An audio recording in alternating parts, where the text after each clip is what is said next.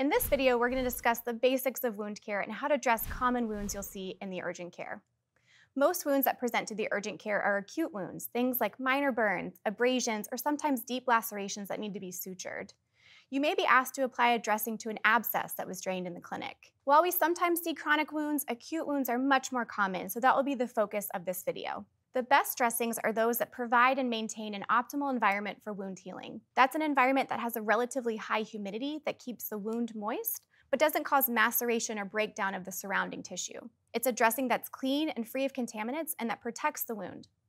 Dressings should not adhere to the wound and be easy to remove.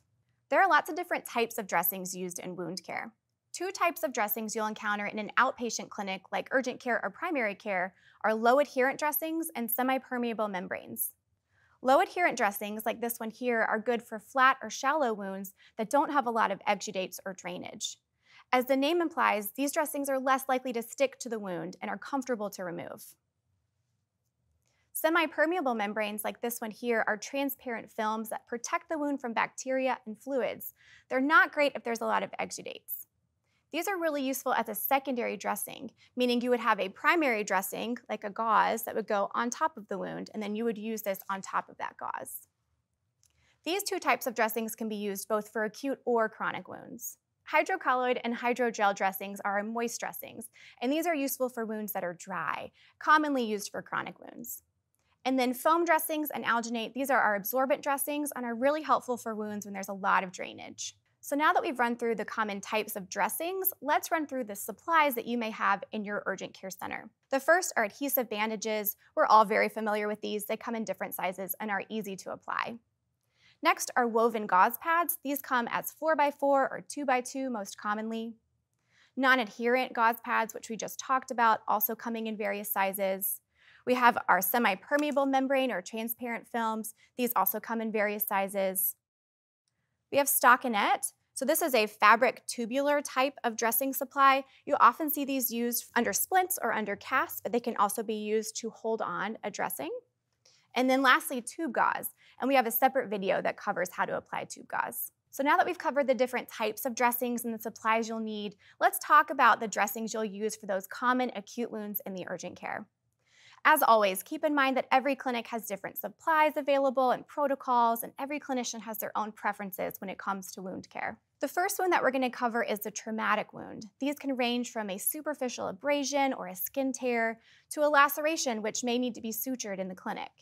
For all traumatic wounds, topical antibiotic ointment has been shown to reduce rates of infection. But just be aware of those with neomycin sensitivity, which is pretty common. So for that reason, I tend to stick with something that doesn't have neomycin, like bacitracin. The type of dressing for a traumatic wound depends on several different factors. The size of the wound, where that wound is located, and if sutures were placed, the type of suture material, whether it's absorbable or non-absorbable.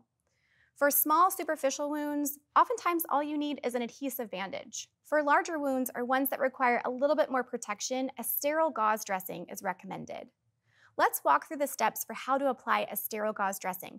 But again, remember, every provider is a little different, so you should always check in with them to see if they have a preference. I like these types of dressings for lacerations, especially if they were sutured and located on an extremity. For this procedure, you'll need topical antibiotic ointment, gauze pads, and then something to hold the dressing onto the surrounding skin.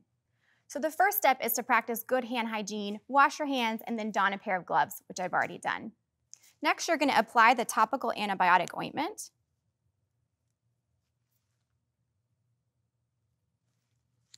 And then the sterile gauze pad. You've got a couple different options here, again, depending on the supplies you have available and your clinician's preference.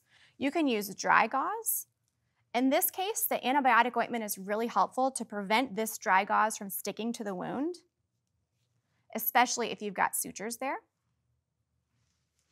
You can also use a non-stick gauze pad, and oftentimes that's all you need. But if your provider wants a little bit more padding or cushioning, you can apply the dry gauze pad on top. And then next we need to secure the dressing. This is most commonly done with paper tape. As a pro tip, because this can be a little fumbly and stick to your gloves, go ahead and rip the strips of the paper tape before you start this process. Could you hold that for me?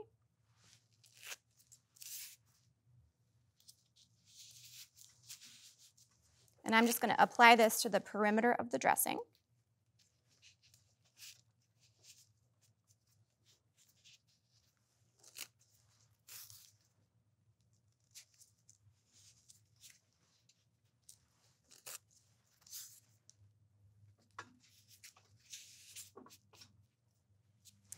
You could also use one of the semi-permeable membranes instead of paper tape.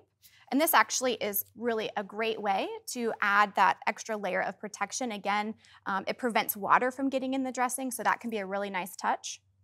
And then some providers like to use cling wrap to secure the dressing. Just make sure that when you put it on, it's not too tight.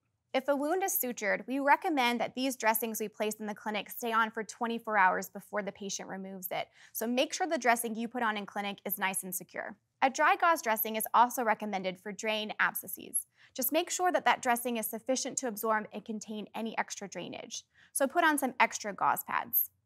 If your clinic has them, foam, alginate, or hydrocolloid dressings can also be used. Most burns that present to an outpatient clinic are superficial, so we're going to dress them in the same fashion. We're going to put on the topical antimicrobial agent like bacitracin and a non-adherent dressing. That covers the basic dressings in the urgent care setting. This is Hippo Education.